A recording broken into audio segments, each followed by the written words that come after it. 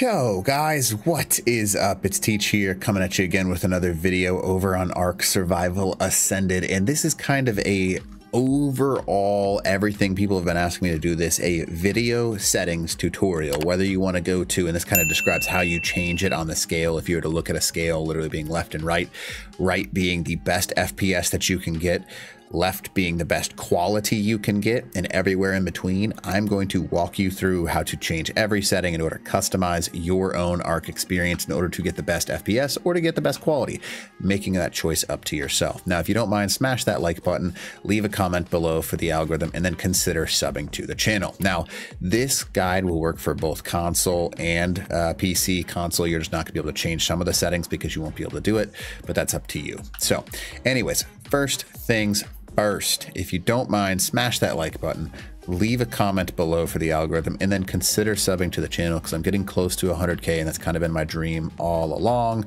And that's all I got to add. So outside of that, it's the only plug. But first things first, FPS.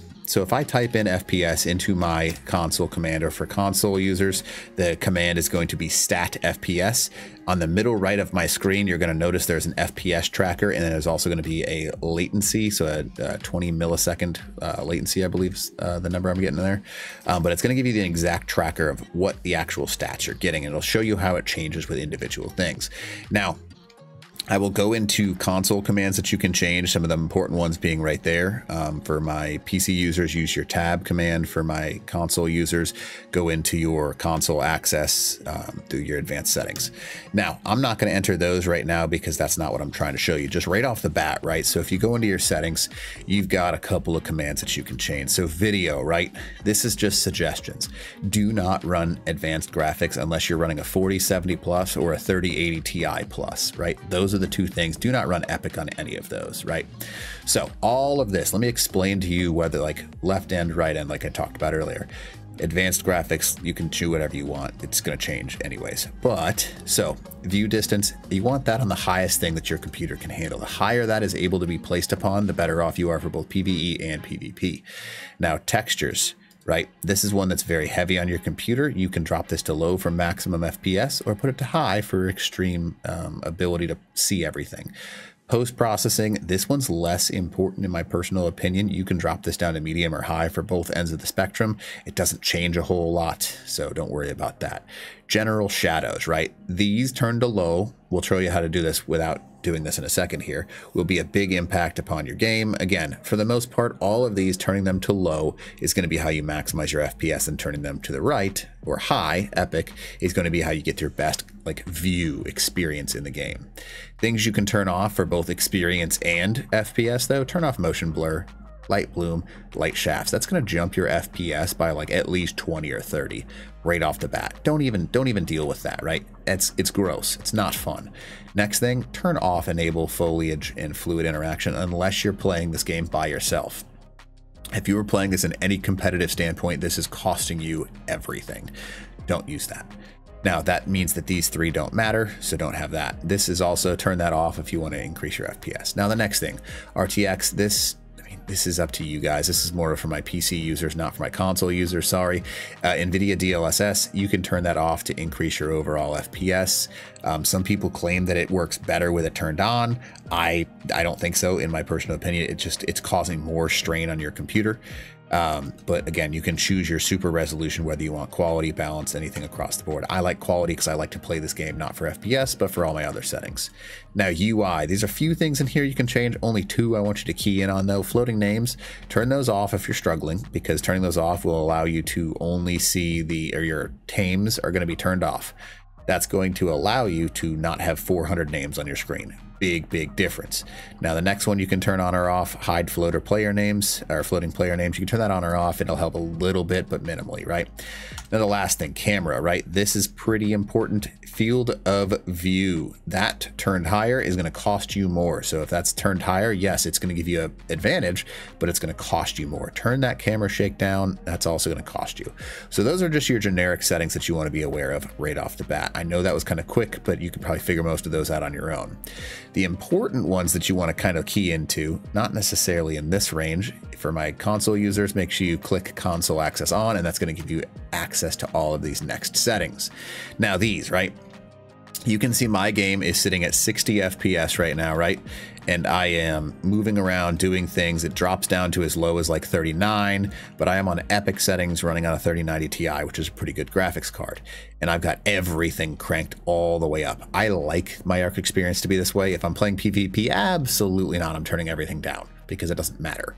But I like looking at the pretty. Now, what I want to show you for my console users, all of this is done in your by hitting escape and going into your console commands. For anyone else, if you hit tab, you can see all of this stuff right here. So the big commands you want to focus in on shadow quality 1 and 0 shadow quality 1 and 0 putting it on 1 is going to make sure that shadows are completely normal and you have shadows inside of your game putting it on 0 i'll show you what that does before i go right on back to going back to it turn shadows off you can see a lot better. Your view distance goes up because shadows are not blocking your distance, and it gives you an overall advantage. Turning it back on will also decrease your FPS, but make the game look prettier.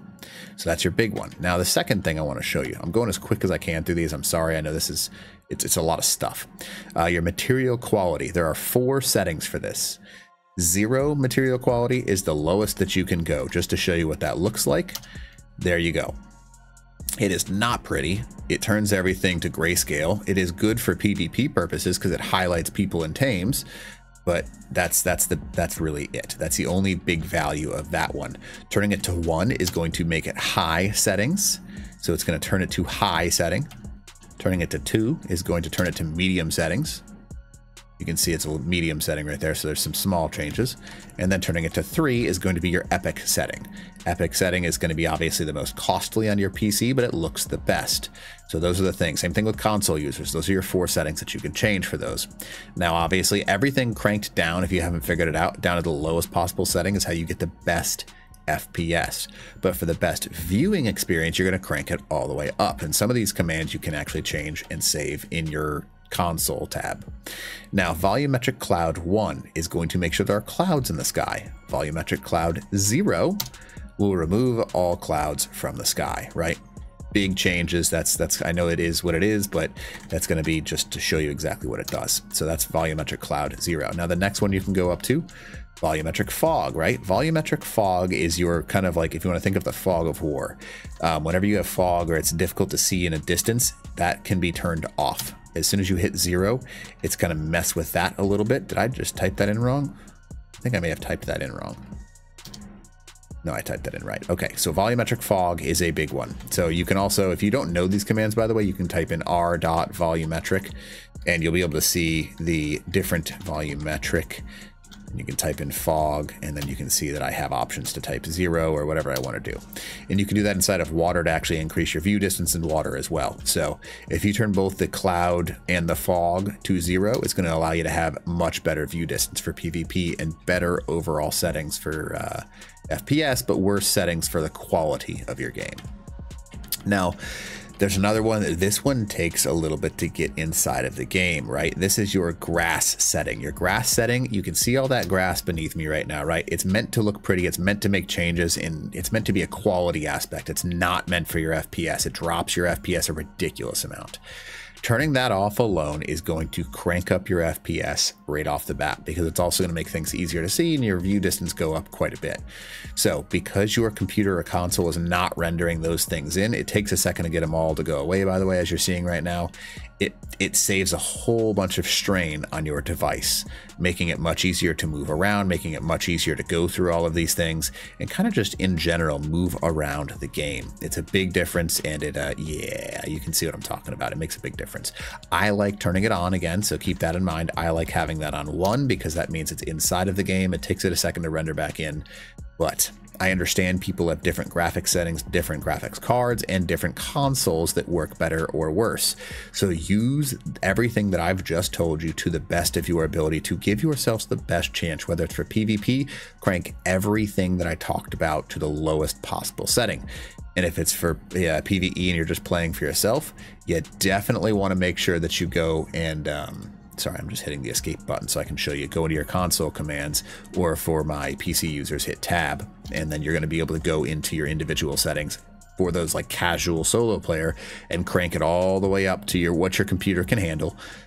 and uh, definitely play for that quality aspect. For PvP or competitive styles, turn that all the way down because everyone else is, and you want to just be careful about that. Now, other things that you can change, these are a little bit more advanced and more for like a solo player mode, if you want to think of it that way. I'm going to go up to the actual command so you can see what I'm talking about. Um, but you can actually change three individual things, and that's show instance foliage, and that's going to basically turn on all I guess, turn off the ability to see anything in the map that you can interact with, if you can break it. And you can turn that back on. It allows you to see through the forest and stuff, so it's kind of cheating, but you know, whatever you want to do. So you can show and then instanced, and you can see the things that you can ch change. You can do the instance grass, and that makes a big one if you have grass turned on. Um, it'll turn off all instanced grass, and that makes a big difference. Static meshes will uh, kind of change the view distances, and that helps a little bit for your overall, um, just everything in general. I'll just show you, see how it kind of changes my view distance way out in the distance. Um, but those are really three slight changes that you can hit instead of the actual massive changes in the long run that you can go for. So that is everything that you can change that are in the yes, there are lots of small things that'll give you an FPS or a, uh, a frame per second or two. But for the most part, those are the major things that are going to change your quality versus your quantity of FPS. Um, and it just gives you the speed versus, oh man, that looks so pretty. I like playing for the oh man, it looks so pretty, but everyone has their own style. So hopefully this video helps you. Yes, it's kind of a combination of some of the things that I've showed you already, the individual settings that you can change, and I'll kind of key into those to the best of my ability. But that will be everything that you need combined together. Hopefully this helps. If you don't mind, again, smack that like button, leave a comment below, and then consider subbing to the channel. All right, teach out.